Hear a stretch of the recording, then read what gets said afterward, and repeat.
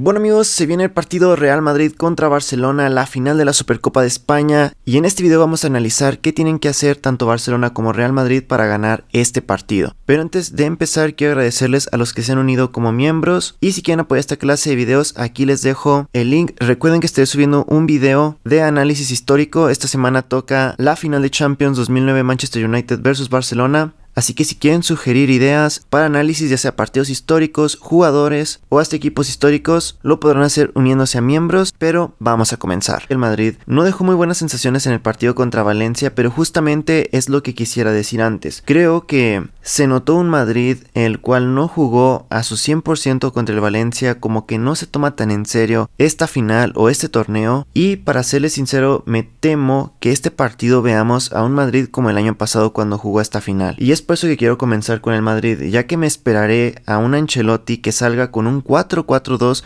aunque no me sorprendería que usara el 4-3-3, debido a que le basta simplemente a Ancelotti con tratar de tener una defensa mejor cerrada y simplemente aprovechar el espacio que deja el Barça atrás porque suben demasiado y simplemente están los dos centrales cubriendo a la contra, dejan mucho espacio por las bandas y esto puede hacer que el Madrid pueda hacer desde un 3 contra 2, ya sea que Valverde sea extremo o sea Rodrigo, pero yo me voy más por un 4-4-2 porque Valverde puede atacar la banda, Modric se podría incorporar, tendría más funciones ofensivas Modric, más libertad con Valverde, Cross y si juega Camavinga también, ya que la baja de Chomeny pues evidentemente sí que le resta al Madrid, pero es eso, al Madrid le basta con sorprender a la contra o en la presión tratar de quitar la pelota al Barcelona cuando no están tan bien estructurados defensivamente y buscar hacerles daño.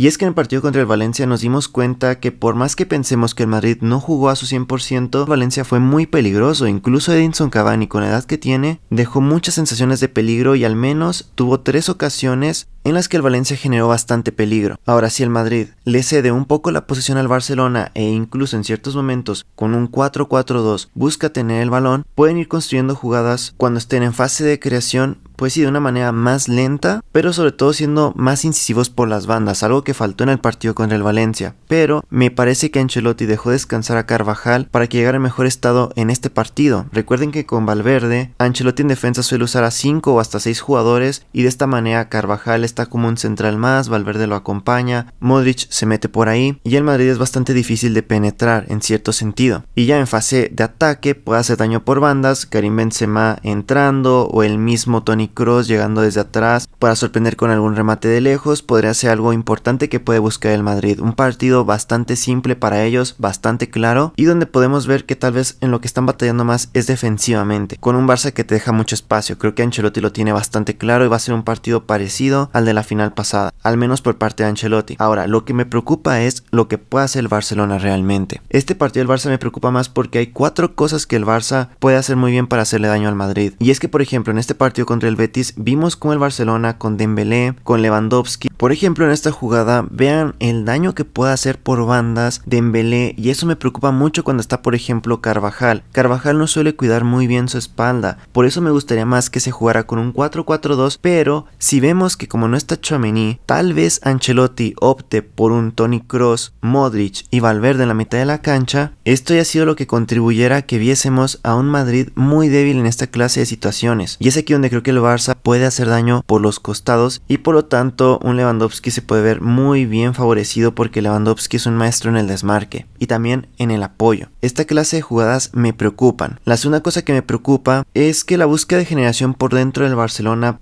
sobre todo en un hipotético 4-3-3 del Madrid, permite que tenga bastantes hombres por el centro y se liberen muchísimo las bandas. Entonces, un escenario como el anterior podría también repetirse, pero no solamente eso, sino hacernos ver a un Barça que por bandas sea bastante peligroso y en los centros el Madrid sigue siendo un equipo muy débil. Con el Valencia lo vimos y el año pasado lo vimos constantemente, o sea, el Madrid no defiende muy bien en el juego aéreo. Y Lewandowski nuevamente es muy poderoso ahí y el Barça sabe buscarle. Ahora, si el Madrid se pone a defender es muy probable que el Barcelona tenga opciones a balón parado y ahí Araujo como Lewandowski son también bastante peligrosos. Este año ya no tenemos a Casemiro y si no está Chomení realmente me preocupa el juego aéreo del Madrid en defensa y también me preocupan las contras que puede hacer el Barcelona. Creo que el Barcelona a la contra tiene velocidad, creo que Dembélé puede estar inspirado y el Barcelona también a la contra puede ser bastante peligroso. Entonces definitivamente creo que al Barça le podría convenir que el Madrid juegue con un 4-3-3. Yo creo que Ancelotti debe salir con un 4-4-2, ya que me faltó mencionarlo, pero es que sigue siendo una gran debilidad. Tenía Sergio Roberto por parte del Barcelona en esa banda derecha y si pone Araujo ahí es muy difícil que puedan contener a Vinicius. Así que puede ser un duelo en el que veamos como dos jugadores que marquen mucho la diferencia a un Dembélé y a un Vinicius. Pero también un Lewandowski o un Benzema pueden marcar diferencias. Pero a Benzema no lo hemos visto muy bien. Valverde no ha estado jugando muy bien después del Mundial. Así que amigos, no me sorprendería que el Barça gane esta final de la Supercopa. Esperemos que no. Y yo espero que veamos una gran actuación al menos de Vinicius. Y que Ancelotti busque equilibrar más el partido con un 4-4-2. Así que nada amigos, espero les haya gustado. Ustedes pónganme acá abajo en los comentarios qué piensan, quién creen que gane el partido. Yo creo que si Ancelotti sale con un 4-4-2, el Madrid puede ganar 3 a 1 o 3 a 2 la final. Ya que con el 4-4-2 puedes empezar, meter un gol, en la segunda parte ir a la contra con Rodrigo ahora sí en el partido, pero tal vez con dos goles por detrás, no solamente un gol, o si hace falta remontarle el partido al Barcelona, pues puede ser mejor Rodrigo en la segunda parte, pero espero que no juegue para nada Asensio. Pero bueno, ustedes ponen acá abajo qué piensan, cómo creen que vaya a quedar el partido. Recuerden seguirme en Instagram y Twitter, no olviden compartir y suscribirse, porque nos vemos en próximo video.